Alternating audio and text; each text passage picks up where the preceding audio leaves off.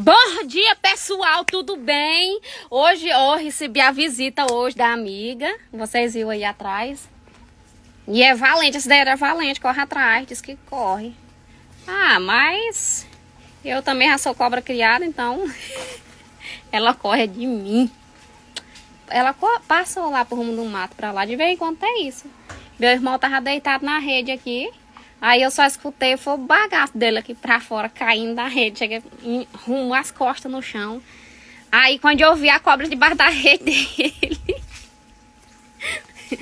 debaixo da rede dele, ele correu. Aí nós ficamos de longe olhando. Ela deu uma voltinha aqui por dentro de casa e foi embora.